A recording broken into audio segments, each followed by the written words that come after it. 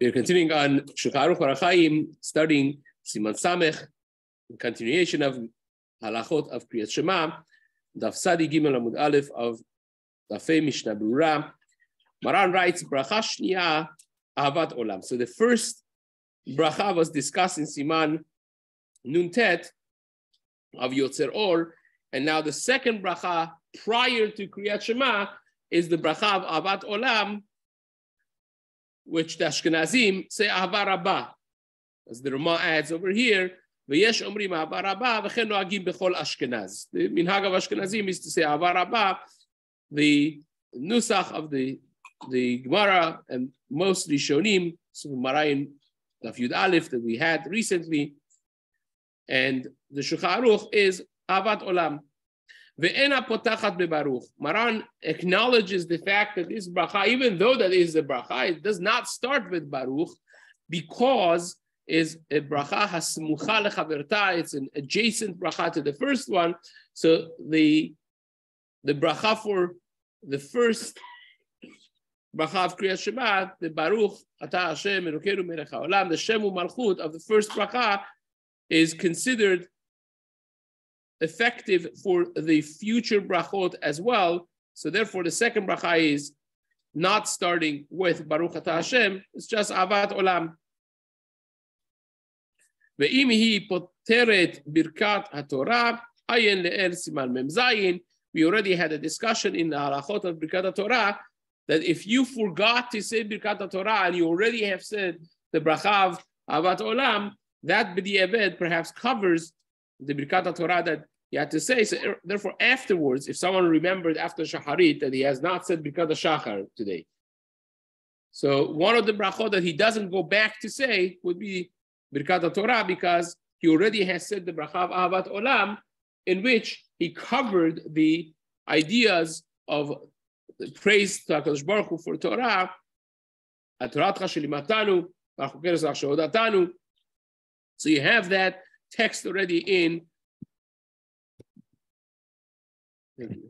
in uh, the bracha, and therefore it covers the bracha of Torah as well. Says the Mishnah Berurah, Avat Olam, Perush Tchidat bracha Avat Olam. The beginning of the bracha starts with Avat Olam, um, which again, the reason that Avat Olam is attached to Shema, in Seder Ayom, it explains that the love that we have for HaKadosh Baruch Hu is the reason that um, we say Shema Yisrael Hashem Hashem Echad, the oneness of Hashem and the the love that we have with it, that we don't forget Hashem and He does not forget us and He's always with us. That is the Ahava Hadadit, the mutual love that exists between HaKadosh Baruch Hu and His nation, just like the Gemara says, that uh, we say Shema Yisrael Hashem Echad. We say there's nobody like Hashem, and Hashem says Mikam Yisrael Goy Echad Baris. Hashem also says there's no one like the Jews. It, that's the the relationship. That's a two-way street of um, a ahava hadadi, the mutual love. So therefore, we put that right prior, right before uh, saying Kriyat Shema. That the minhag Ashkenaz is to say Avar only at in the morning time they say Avarabah, but in Arvit they actually do say Ahavat Olam, and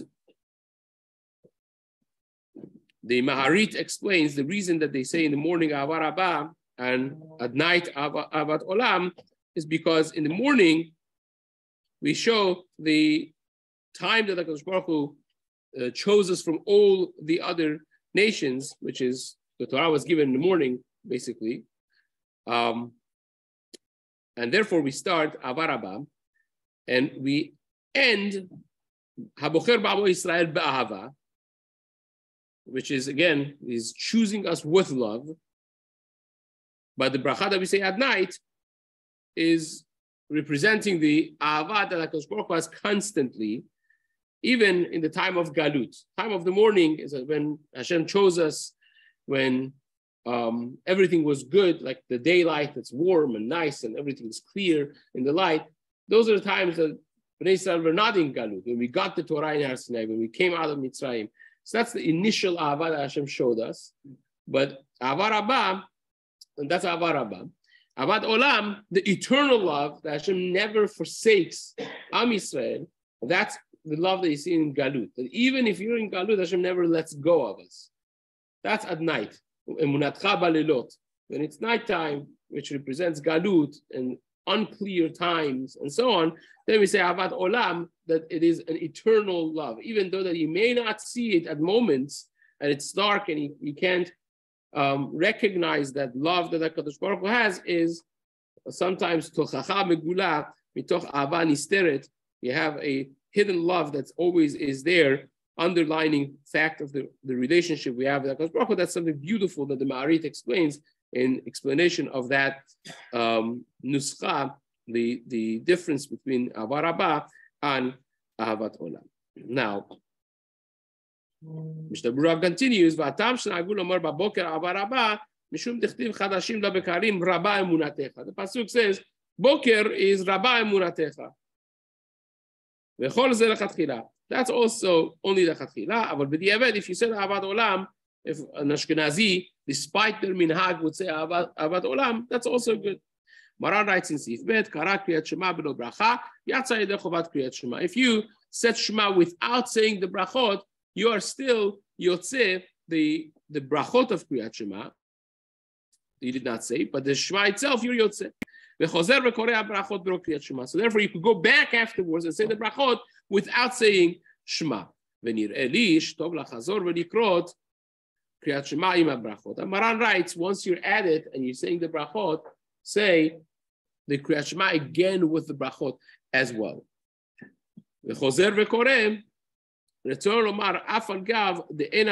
Even though they don't have to say Shema with the brachot, you already said Shema on time earlier on, still you go back to say it with the brachot, ויוצא ידי חובת קריאת שמע אף אם לא ברך כלל.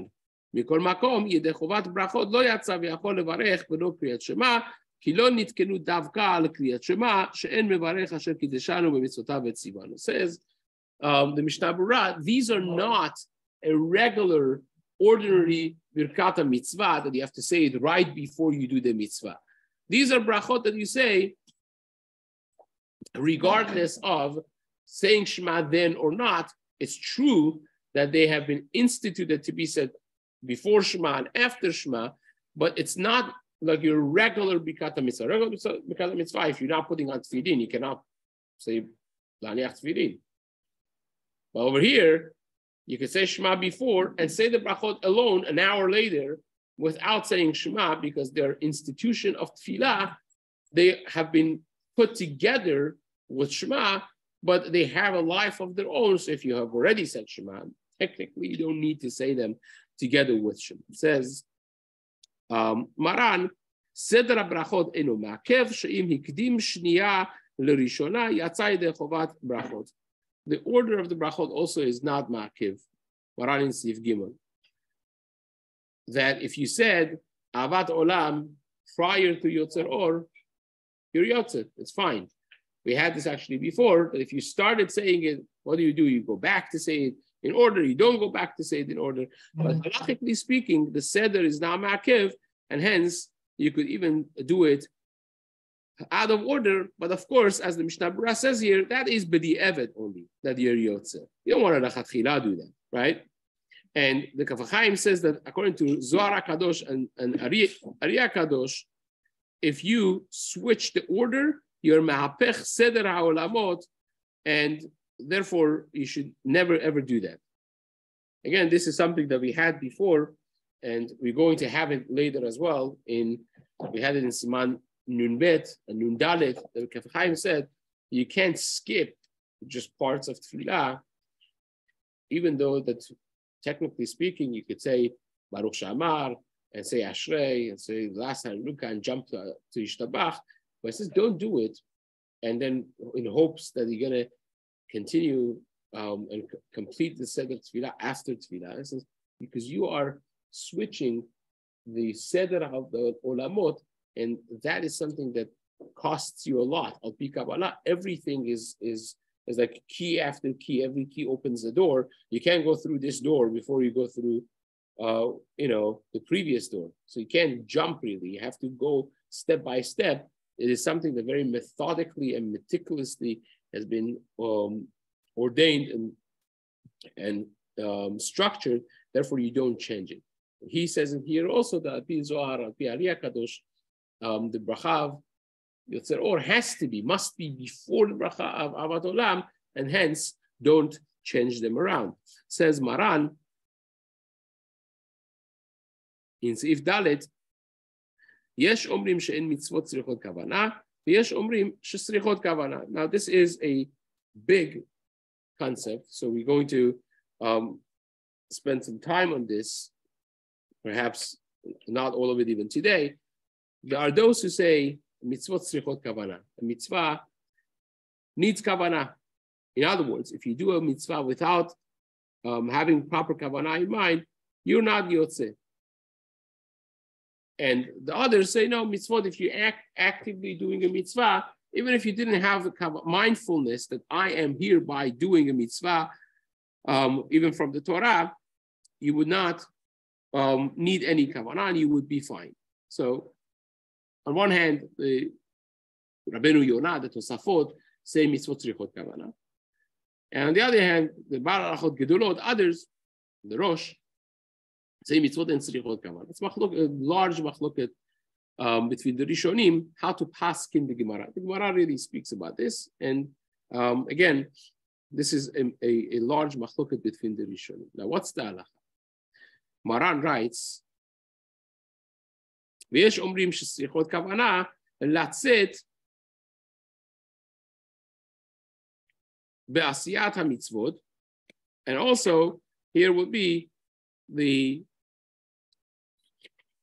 mitzvah of Kriyat Shema we're specifically talking about. So Maran writes, um, יש אומרים שמצוות צריכות כוונה. I think I said it the other way around. The, the mitzvot שאין צריכות כוונה, that, that is Tosafot and, uh, and Rabbeinu Yonah. The whole that the mitzvot do not need kavanah. And the ones who disagree would be the Bahag, the Baal Halachot Gedolot, the um, the Rosh, and others. So, Latzet Ba'asiyat Ota Mitzvah, Vechen Halacha. So Maran brings it in this order, V'yesh V'yesh, Halacha Ki Yesh Batra. When Maran brings two Yesh Omrims, Halacha is Ki Yesh Batra, and here is clear. Here Maran says it. Halacha is the mitzvot srichot kavanah, and you have to have mindfulness for doing a mitzvah. Now, we're going to discuss a lot of details about mitzvah darabanan, mitzvah doraita, and all the details that comes with it. But let us discuss one uh, simple, one one simple uh, case that, that could happen for everyone. You sit and eat in the sukkah.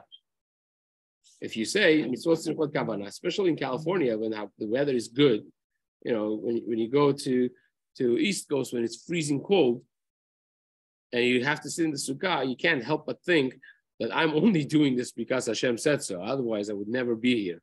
But here in California, it's much nicer. People do get out and eat outside under gazebos and outside out, outdoors, anyways. So if you're sitting there and eating mindlessly, not having in mind that I am eating this kazait of bread because tonight is the first night of Sukkot and you have to eat a kazait in the sukkah. You didn't have any kavanah, just having dinner. Having dinner with family is a nice thing, having dinner with the family. You have to go back and eat again that kazait, you're not yotze. Now, Shlomo Zalman Auerbach says something even much bigger. He has, actually, this is the, the first printed tshuva in in his Sefer Tshuvot of Minchat Shlomo is this question. It says, forget about the first time. Even during the Chag, when you want to eat in the sukkah, you're sitting and eating a sandwich. So bread is asur to eat outside the sukkah. It's suudah. Suudah you cannot have outside the sukkah. So eating a nice sandwich inside the sukkah, the madrin mina madrin, beautiful sukkah, but you're completely mindless. You're not thinking at all about eating in the sukkah. So he has a chatira. For sure, you're not yotze. But is it that you're not doing the mitzvah of dwelling in the sukkah? Or imagine if that's the first night and you actually have the mitzvah of eating kazait in the sukkah. But you're completely minus. Is it that you just did not fulfill your mitzvah of eating a kazayit in the sukkah? Or is it maybe worse than that? Not only you didn't fulfill your mitzvah of eating in the sukkah, but you are equivalent of somebody that ate the kazayit because the sandwich was eaten, right? You ate the sandwich. But maybe this is equivalent of you eating outside sukkah, because once you were not yotzeh, and you had completely um, no mind mindset that you're in the sukkah doing maybe this should be considered that you ate outside sukkah, so you get an avera of eating outside sukkah. How serious do you take this mitzvot tzrichot kavana? Right? And his maskana is actually that you do get an avera of eating outside the sukkah, even though that I'm sitting under my sukkah eating. But if you're mindless, you are defined by your mind, by your kavanah. If you completely are mindless, is as, as though you're mamash outside the sukkah. But you're in the sukkah, but you're outside the sukkah. Because your mind is not there. So that's a that's a very powerful thought. You know, you, you are what your mindset is. You are where your mindset is. And that's the psak of Aruch. Now, this machloket really should cover both rabbinic and biblical mitzvot. In other words, those who say mitzvot tzrichot kavanah, say, well, it's a kavanah. Every mitzvah needs kavanah. Those who say mitzvot and tzrichot kavanah, they say, well, even the deoraitas don't need kavanah. And when we pass in that, uh, like Maran says, halacha is like the mandamar that mitzvot tzrichot kavanah. Is it talking about the deoraitas, or is it also talking that the rabbanan, also the rabbanan, need kavanah? So that's something that we have to spend some time. So it says, let's start it at least today, and maybe tomorrow we'll have um, we'll spend a little bit more time to, to discussing this in a in a more profound way. The next few. So it says the משנה ברורה, יש אומרים, דת לפי המתבאר מן הפוסקים, שני כוונות יש למצווה. There are two kavanot for every mitzvah. What are they? Achat kavanat halev mitzvah atzma. One is your heart's kavanah, focus on the mitzvah itself. Veshenit kavanah latzet And the second one is, I am, not just I'm mindful that I am um, eating in the sukkah. But this is my mitzvah. I have to be yotzei mitzvah of eating a kazai tonight in this in the sukkah. So I'm do fulfilling my obligation of eating in the sukkah, putting on tefillin. Not only that I'm mindful of what I'm doing, but this is my obligation to be yotze with it. What does that mean? Dehainu, sheyechaven lekayem baze kasher siva Hashem kimosh katav abach. That you are saying, I am doing what Hashem has commanded me to do with this action that I am about to do right now. The kavanata mitzvah shenizkar baze hasaif en talui kolal v'kavanat halev. The kavanata mitzvah in this if in Shulchan Aruch is not connected with kavanat halev for the mitzvah itself. That you have in mind sheyechaven belibo lema shehu motzi mipiv. It's not talking about you understand the words that you're saying. We're not talking about that. Right? You have, when you say Shema, right? One is understand the words that you're saying. Read it with kavanah. What does that mean? Focus on the words that you're saying. But then there's another element of kavanah. Have kavanah to be yotzeh. That means you're mindful, not just that I'm reading a beautiful piece of Tanakh, but this is actually a mitzvah of I am fulfilling my mitzvah of saying Shema. And in your heart, there are no other thoughts crossing your mind and heart. All of these items that we say, that you should be fully focused on saying it when they are say, when they are being said. That's according to everyone a mitzvah to, to have kavanah. But with the Eved, lo kiven yatsa. But the Eved, if you didn't have kavanah, you're yotze. לבד מפסוק ראשון של קריאת שמע וברכת אבות של תפילה. Aside from the first pasuk or first three psukim of uh, Shema, and first bracha, which is three brachot also of tefillah. כמו שמבואר לכאן. רק שמחולקים בעניין אם חייב לכוון קודם שמתחיל המצווה לצאת בעשיית אותה המצווה. The kavanah of understanding the words is according to everyone. The machloket over here of Rishonim is not about understanding the words of Shema that you're saying. It's about, do I need to pause for a moment before I start saying Shema and say, hereby I am ready, hineni mukhanim zuman lekayem mitzvat aboreh likro kriyat Shema. Hashem has said, we understand based on that this is a mitzvah of kriyat Shema. I am hereby doing that mitzvah. Nothing to do with how much kavanah I'm going to have understanding the words that I'm going to utter in the next few minutes but that I am doing the mitzvah of Kriyat Shema, not just reading a part of Tefillah. This is a mitzvah d'oraita that Hashem had said, say Shema in the morning, say Shema in the afternoon. I am doing that. Do you need to have that kavanah, or can you just go through the words and daven tefillah b'kavanah, nice understanding Shema, Yisrael, Hashem, uh, understanding the words, have a lot of kavanah in the saying of the words, but I don't have to have a kavanah, a specific kavanah that I'm doing the mitzvah of Kriyat Shema in the morning. Why should I have that kavanah? I'm doing it. Like Hashem said, do it. I'm doing it. Who says that I need to bear in mind before I do it? You told me to, to say Shema. I'm saying Shema. Why do you be mindful that I am listening to Hashem who told me to do Shema in the morning? Why do I have to have that? That is the machloket of mitzvot tzrichot kavanah or not. Nothing to do with how much intent you have when you say the words of Shema. That's a separate kavanah. Right? And this is the that we're talking about over here. And even here, everybody agrees that's a good thing to have mindfulness and you know and, and be aware of the fact that I'm doing mitzvah oraita. As the Gemara says in the Darim, which is a Gemara in Samach Bet in, in Masechet Nedarim, Rabbi Eliezer ben Sadok says, "Ased dvarim l'shem po'alam." do the things properly, L'Shem Shamayim, L'Shem Hashem, who has commanded you to do them. And Pasuk in Yeshaya says, one of my fam, you know, famous Pasuk, one of my favorites, in, in Yeshaya Perek Chavtet, but we don't want our mitzvot, our doing of the mitzvot to turn into a robotic, mechanical um, action out of rote. We don't want that.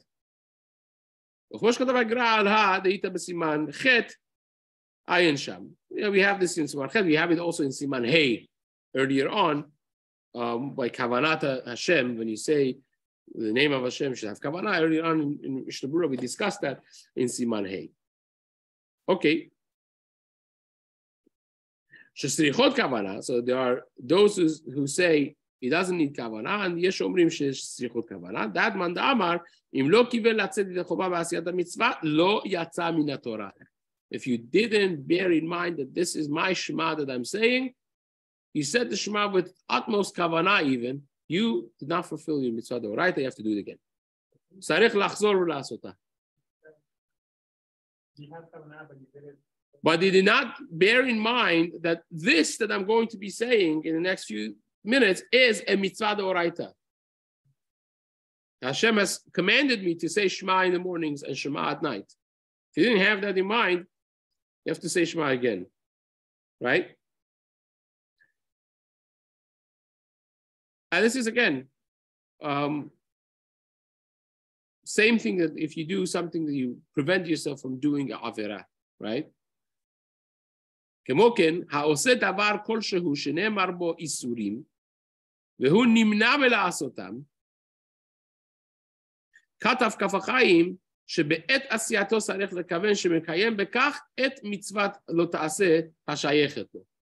There also you have to have כוונה, I am staying away from this עבירה. When Ishchai says when you go to get a haircut, and tell the barber, leave my peot alone, right? You should have kavanah that I'm mekayem now the mitzvah of keeping peot. Well, I'm not doing anything with my peot. I'm just telling him not to cut it, right? But that's also you're staying away from an avera So cutting, I don't mean to have long peot, even though the Mishchai do does write that, but not to do it number one. Number one would be, or zero for sure, would be asur. Many people do um, short haircuts. If you can't well, hold it, or according to many, hold it and bend it back to its roots, then it's short, you know, it's too short. So depending on how your machine is, number one or number half, whatever it is, many of the people who, have very short haircut on the sides, they actually get into a very questionable area of halacha. or maybe they're doing the isur of, of, of, cutting the peot. Unlike the beard that uh, when, when, you shave with a razor is a problem, and you know the shaving machines is different, uh, the shavers is different, different question by itself. But unlike that, the peot arosh, even if you don't shave them, they're just very short, and you did it with scissors, but very short, still is a problem. So Ben Ish Chai says, even though that you're not doing anything, but you're staying away from an avera, you should still have in, have in mind because mitzvot sirichot kavana. So you're having kavana to do that, and the Kaf HaChaim says a similar thing as well. Now,